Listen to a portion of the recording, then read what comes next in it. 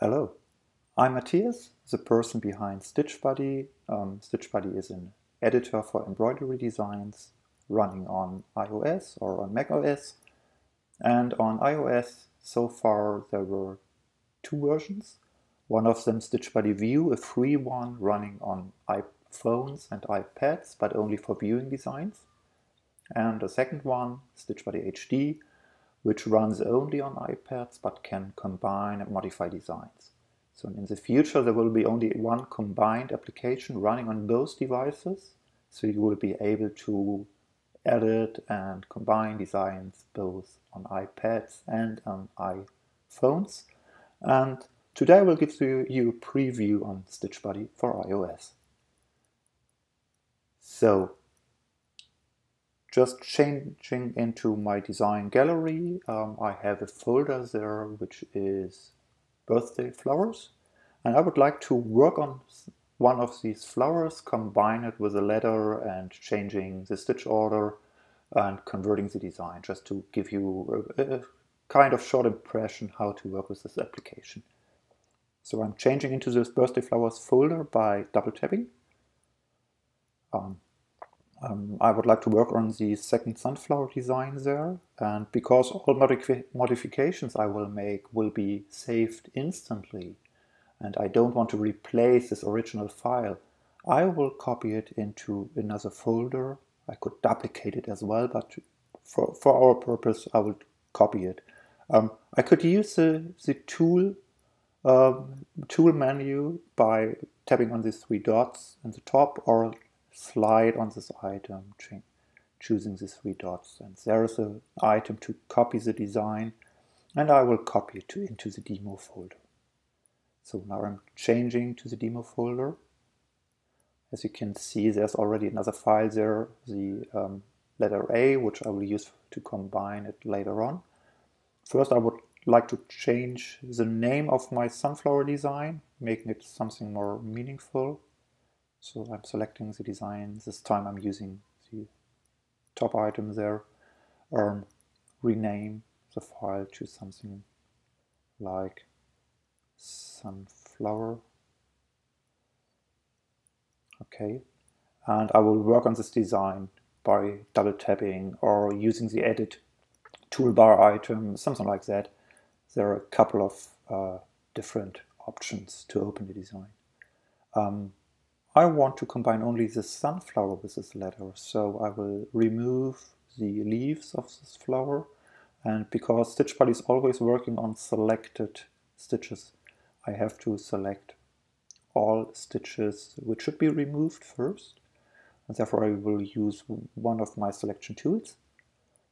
As you can see, I can, for example, select stitches by dragging a rectangle um, around them. I can select stitches between jumps and color changes, single stitches, or, and that's what I will do now, I can use thread, uh, select stitches of one thread.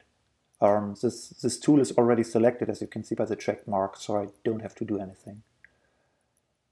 Um, I'm just tapping on the stitches, and as you can see, all stitches of this thread are selected, are marked in red, I will repeat this step for the other parts of the design as well. So all red stitches should be removed, so I'm using the uh, corresponding tool, delete the selection, and exit the design back to the gallery. Um, now I'm opening the English A design and I would like to copy all these stitches into the other uh, design, combining them. So again, it's the same, I have to select the stitches. This time it's more easy because I just select all stitches of this design and copy them into the clipboard. I'm done with this design, opening again the sunflower and pasting my selection. But before I do that, I'll just zoom out a little bit by uh, using the pinch or spread gesture just to have a better overview pasting the A. Mm, okay, it's um, not aligned in a way I would like to have it. So I'm dragging the letter A or I'm dragging actually all marked stitches, which is still the, the the, the pasted letter by just dragging with one finger. Maybe a little bit more.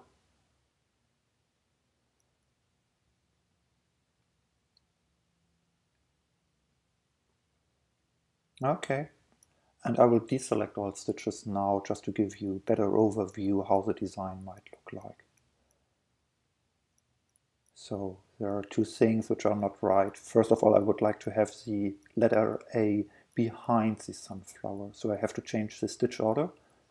Or I can do this in the thread menu um, just by editing the threads. And here, as you might know, these handles, I can just drag the last stitch into the first position. Done. And switching back to the design. Now we can see that the letter A is behind the sunflower. And the second thing that's not right is the design is not centered.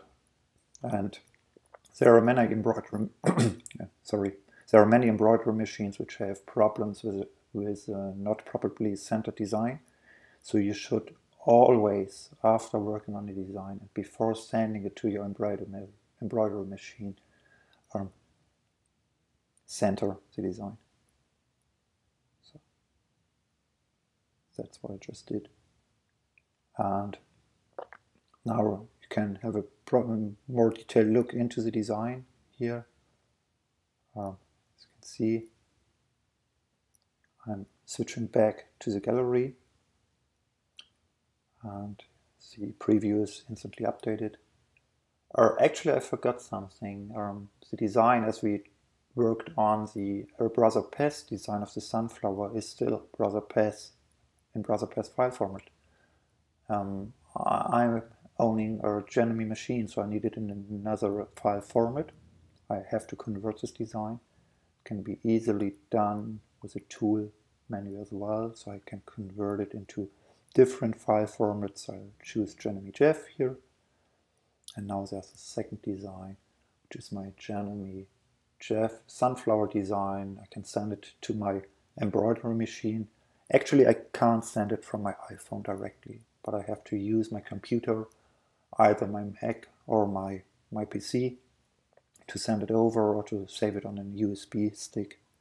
So that was a preview on the new Stitch Buddy for iOS app.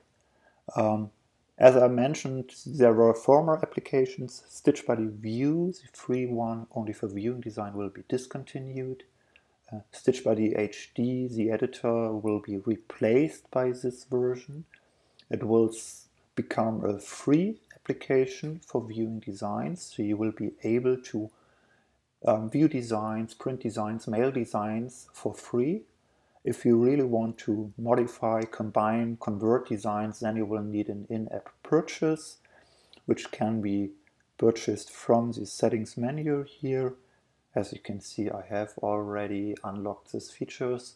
Uh, the Stitch Buddy Pro in-app purchase will be, depending on your local currency, 10 US dollar, and you can purchase directly from the app. It will be it will become active instantly.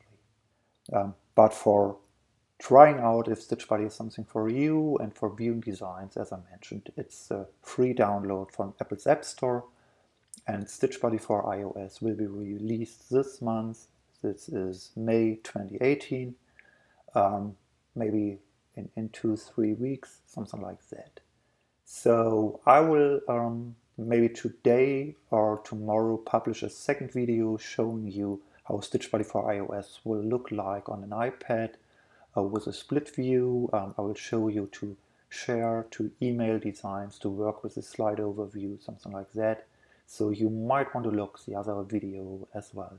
Um, okay, I hope you enjoyed the session. Take care and goodbye.